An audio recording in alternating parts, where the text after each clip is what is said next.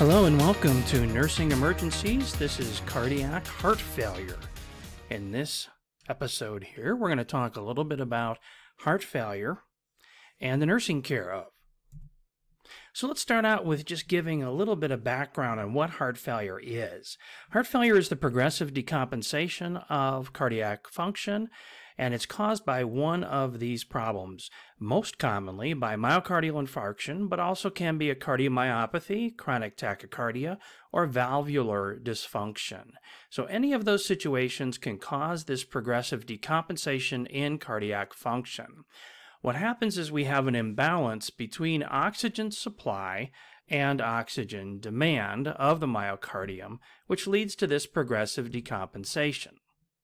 So on presentation, we're going to see a progressive decrease in cardiac output. Typically, this is going to happen over a period of years.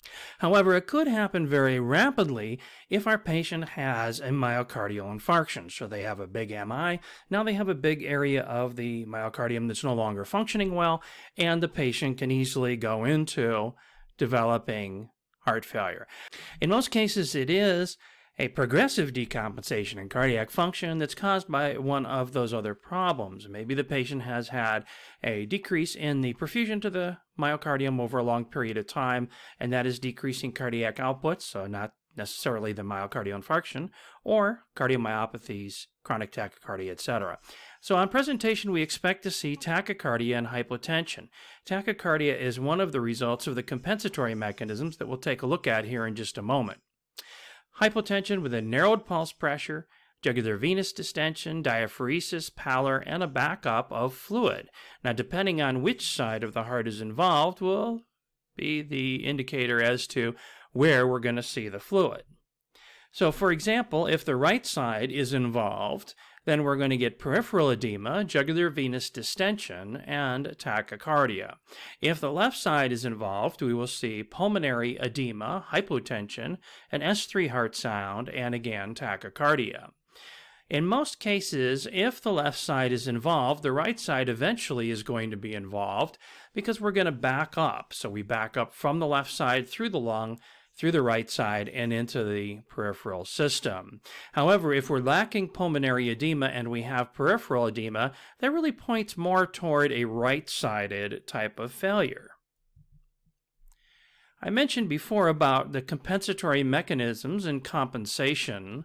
What happens with compensation is that whenever there's a decrease in cardiac output, we will have three main systems that are stimulated the sympathetic nervous system, the renin-angiotensin system, and aldosterone.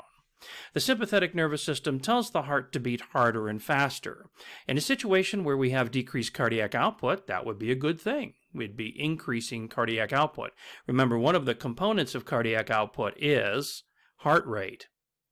So if we tell the heart to beat faster, that's going to increase cardiac output. So the sympathetic nervous system will increase our blood pressure by increasing cardiac output, and it also causes vasoconstriction, which increases our afterload. So those two components are part of the sympathetic nervous system. The renin-angiotensin system is also kicked in. It causes vasoconstriction and fluid retention. And then aldosterone kicks in, which causes fluid retention and also helps to increase blood pressure. So these compensatory mechanisms are all aimed to try to increase the blood pressure that has dropped as a result of decreased cardiac output. However, in a patient with heart failure, these compensatory mechanisms won't help, and in fact, they make the patient worse. So let's start with the sympathetic nervous system. Telling the heart to beat harder and faster is not going to be effective. If the heart could, it already would beat harder and faster. Secondly, the renin-angiotensin system causes vasoconstriction and fluid retention in a heart that already is not beating well, causing an increase in afterload and an increase in preload is not going to make it more efficient. Lastly, aldosterone causes an increase in fluid retention to increase blood pressure, but again, that's increasing preload in a heart that's already overwhelmed with preload, so it's not going to be helpful. Notice that most of the treatments that we use for heart failure are actually addressing the compensatory mechanisms. Beta blockers block the sympathetic nervous system. ACE inhibitors and ARBs block renin-angiotensin, and then aldosterone antagonists such as spironolactone. This is the vicious cycle that we get into with heart failure, where the heart has decreased contractility. And again, in most cases, it's the result of having myocardial ischemia, which causes a decrease in cardiac output, then a decrease in blood pressure, decreased oxygenation to the tissues, which also it leads to decreased oxygenation to the heart, which further decreases contractility. In most cases, when we're faced with this, what we're seeing outwardly is the decrease in blood pressure and the decreased oxygenation to the tissues, where we'll see a decrease in level of consciousness, etc. So we tend to focus on treating those symptoms. Let's give the patient a positive inotrope right? So we're trying to increase our contractility, bring that blood pressure up, give the patient fluids. All of those things are focused on trying to increase blood pressure. However, as we talked about earlier, those compensatory mechanisms only make the patient worse. Where we should be focusing our efforts on is increasing the oxygenation to the heart first. So think about it like an IV pump. If the pump is beeping and saying low battery, it doesn't help to turn up the rate. First, you have to plug in the pump. Same thing is true here. We need to plug in the pump before we tell it to work harder. So our prompt action for our patient who's having heart failure is to increase the oxygen supply to the heart, decrease the oxygen demand, okay, and some of the things that we can do. Well, the primary thing that's going to increase demand in our patients is the activities we do with our patient, getting the patient up, turning, positioning, all those kind of things increase oxygen demand.